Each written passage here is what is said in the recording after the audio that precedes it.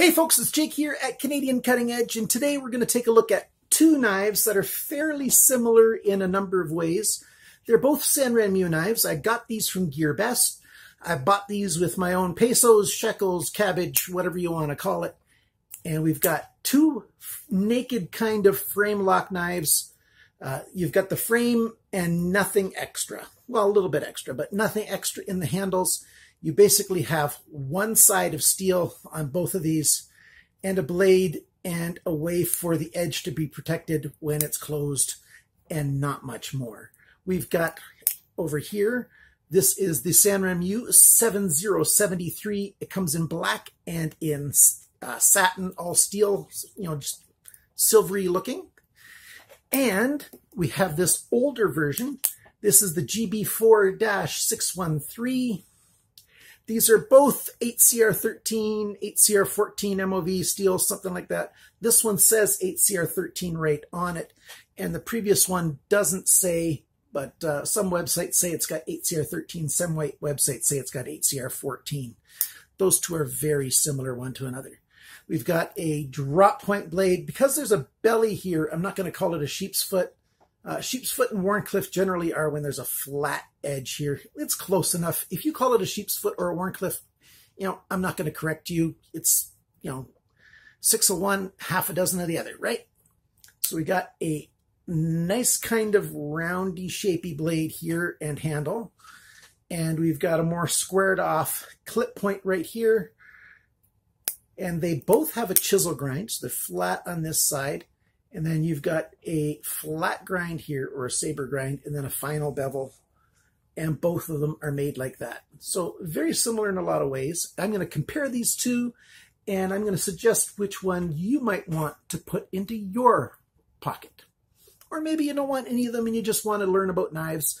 If so, stick around for the full comparison slash review.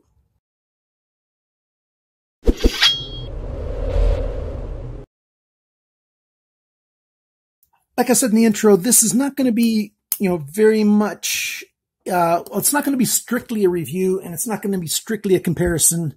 I'm going to talk about both these knives and, uh, you know, just basically do a good talk about. The thing is, this one's harder to find right now. It says discontinued at GearBest. I do not know if they will get it in stock again.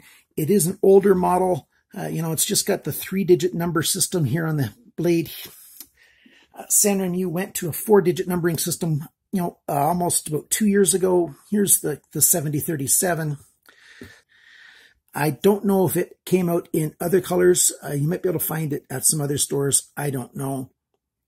But you've got this black knife. You've got this glass reinforced nylon uh, PA66 material is. It's not G10 right there. You've got your frame lock arm here that you can see. There's the relief cut there so that uh, you've got the springiness for it. On both these knives, one of the flaws is there's nothing to stop this arm from going all the way through. So over time as it wears, it's going to get to the point where it's going to fail simply by wearing out and having the lock arm go all the way through. I really wish they would have put a larger, uh, you know, if this is sort of like a a washer, I guess you could call it a washer cover, this, you know, steel cover. You've got bronze or brass bronze washers inside there, but this steel part that you can see here, I wish they would have made it larger so that it would function as an over travel stop for the frame lock to go that way. So you wouldn't be able to have it, you know, work its all the way all the way over. You would end up eventually having slightly play in the blade, but at least it would stay together. Right now, there's no blade play in either of these. Lockup is quite nice. Actually, this one does have a tiny bit of up and down blade play. Nothing side to side, but between the stop pin that you can see right there and the lock, there's just a slight bit of blade play. That being said, I've used this knife an awful lot. I had the uh, steel version of this knife, and that was back when I didn't understand how this locking system works. And I've seen this knife, the 7037. I've got a couple other models that have the same system here. The way it works is you let's see if it'll focus. There you go. You press the button in and what it does is it releases the frame lock. It pushes the frame arm over and you can see it with that ball right there. Hopefully you can see it there if it'll focus.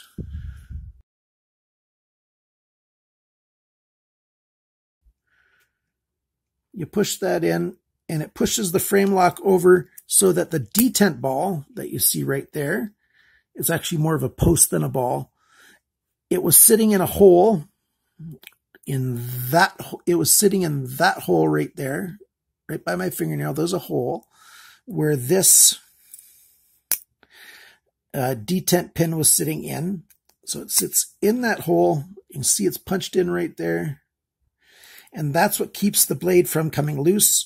It just doesn't come loose. You can pull on it fairly hard. You push too hard, of course, it'll move, but quite hard. It won't accidentally open up until you push that in and release that pin, and then you can open up the knife. That's what that does.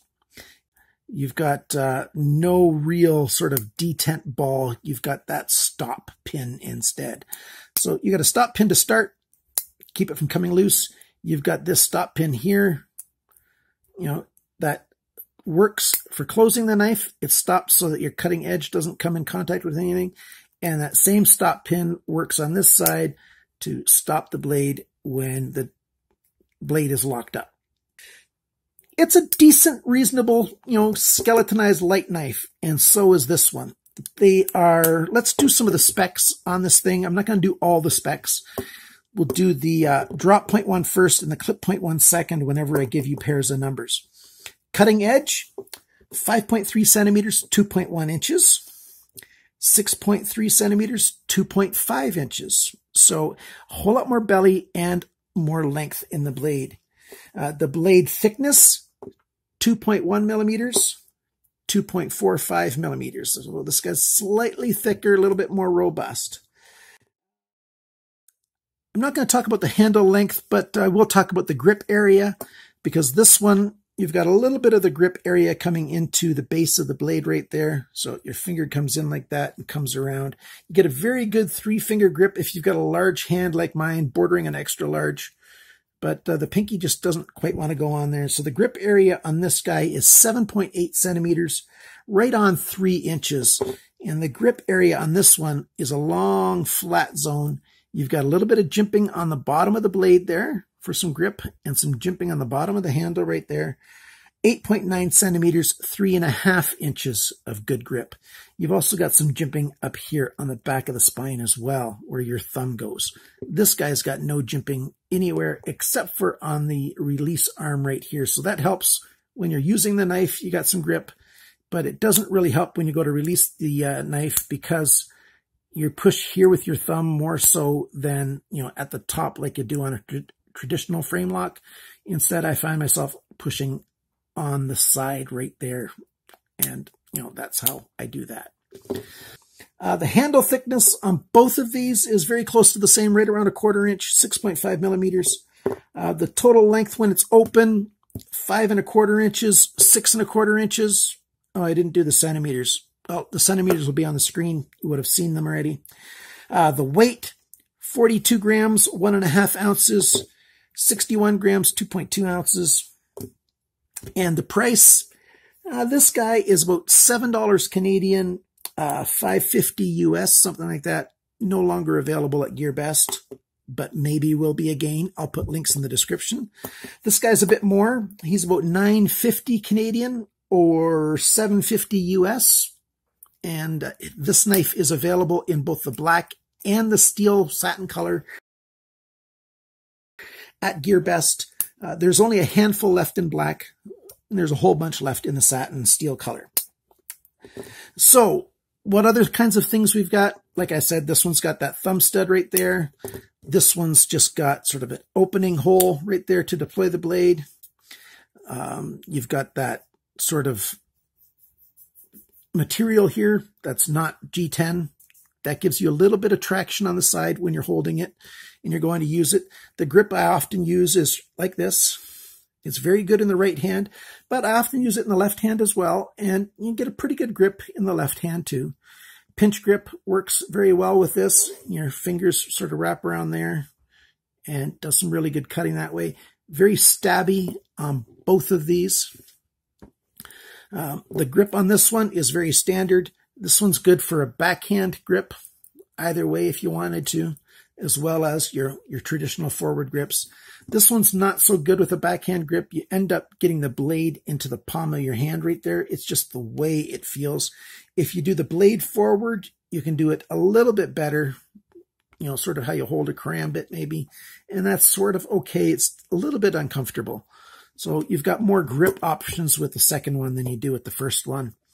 Uh, both of them can work as bottle openers. You can, uh, let's close the blade up to talk about that stuff. You can use this carabiner here and use that part right there to get over top of a pop bottle. Um, I don't have one here. I don't have any pop bottles in the house at all. Now, let's pretend this is the top of a pop bottle and uh, you just sort of put it on there and you flip the lid off like that.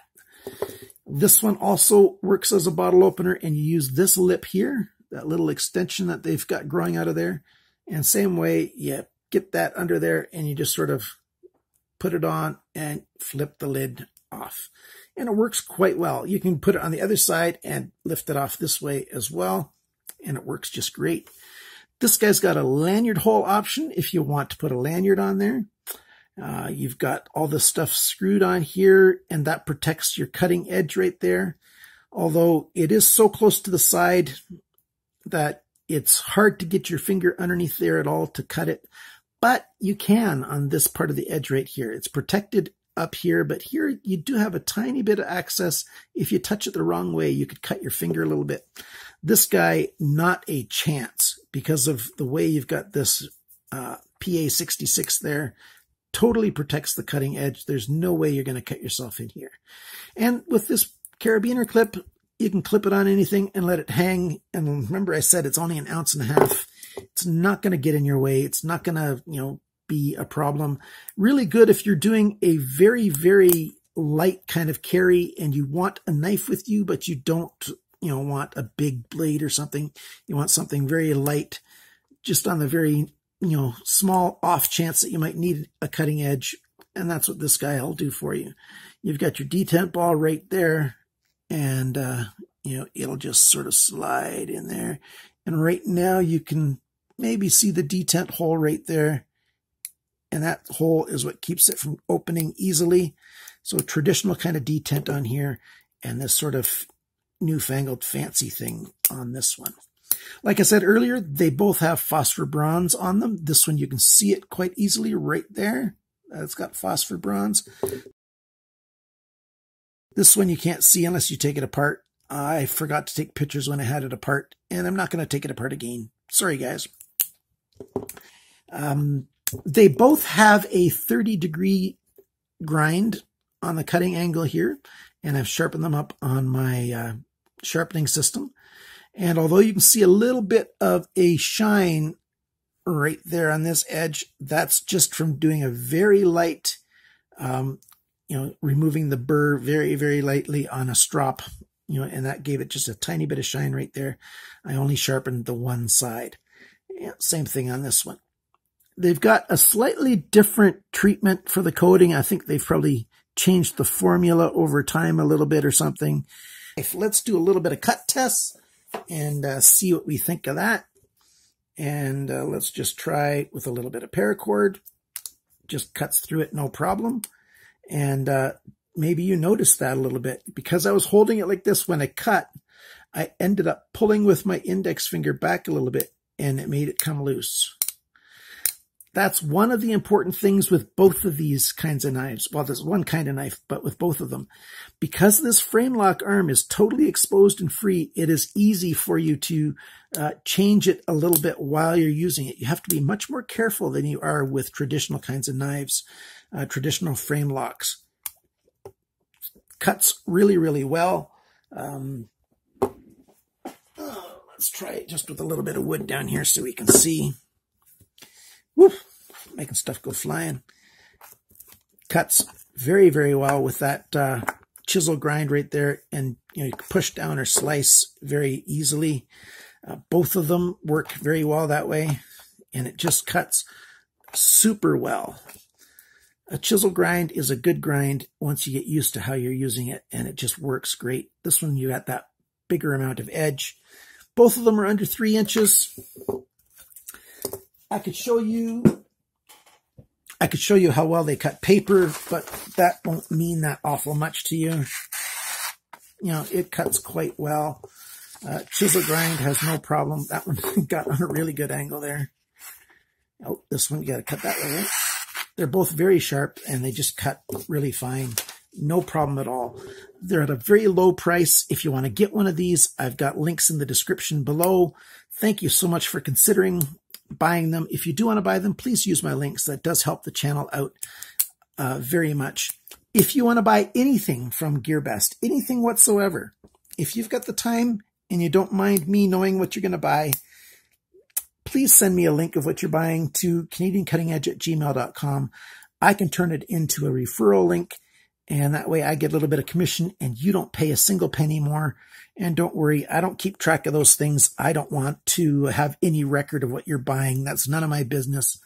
Uh, but if you do want to help me out, that's a great way. Some of you have done that before, and it's very helpful, and I do thank you so much. So there you go. Thanks for watching, liking, commenting, sharing, subscribing, and make sure you check out GearBest. They've got a November 11-11 sale happening.